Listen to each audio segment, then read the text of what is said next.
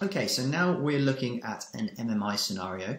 So you're in a supermarket and find an elderly man in his pajamas asking which room is his daughter's. What would you do?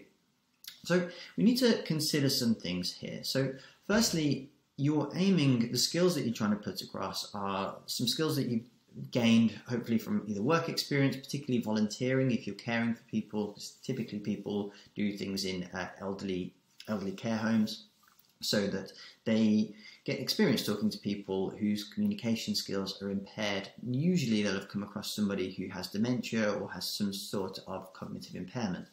And then this is adapting your communication skills to that sort of person who may not understand things, is a bit disorientated, because clearly somebody who's in a supermarket asking about their daughter, where their daughter's room is in their pajamas is probably um, wandered off from a care home. Okay, so when you approach this, you need to understand, demonstrate your understanding that this gentleman may be confused.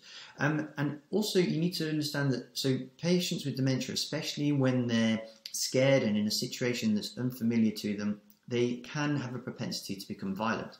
So we need to make sure that you know, it, it is safe to approach. This man's not going to hurt you because we would deal with the, the situation very differently if they were. And is there anybody nearby? You're in a supermarket, so there are plenty of people nearby that can help you out. So basically, asking somebody to to offer some help with uh, uh, with uh, dealing with this.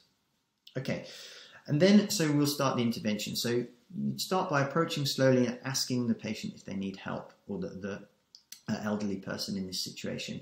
And if he's confused, we want to get him to a safe place. So let's say it's in a supermarket aisle. Uh, you know, there's potential for, let's say, water to be on the floor. He could slip and, and break his hip, for example. So you want to take them to the security area or, or maybe a bench where they can sit down. And then you need somebody to call 999. So ideally, it's best to utilize the person that you've recruited, whose help you've recruited, and get them to call while you keep an eye on the person to make sure that they don't hurt themselves or, cause themselves any more danger. And while this is going on, you need to provide reassurance to the patient. Like I say, they'll probably be scared, so make sure they're safe.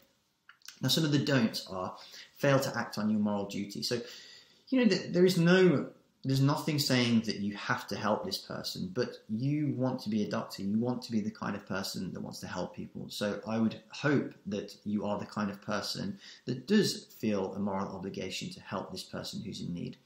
So, um, not another thing that you don't want to do is walk by. You don't want to just completely ignore the situation and hope that it goes away. You are kind of volunteering yourself as that person in society who's the one who's going to step up and take action towards helping this person.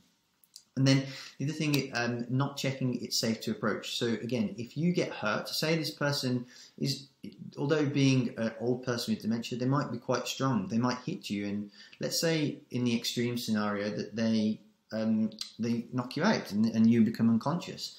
And who's you know what you see to anybody in that situation? Firstly, you're an extra burden because now they have to look after two people and you've not done anything to make the situation better. So making sure that it's safe is really important.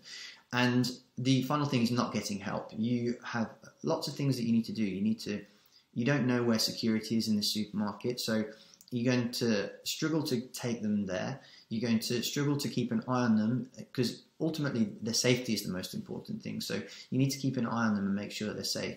And you can't multitask by doing that and also trying to find, uh, maybe say you don't have phone signal and you have to go outside and call 999. Loads of things that can happen. So getting help and ensuring that jobs are allocated appropriately is another way to be effective because essentially effectiveness in um, in providing patient safety or person safety in this case is the most important thing. So there we go. That's how you should approach a situation like this with MMIs.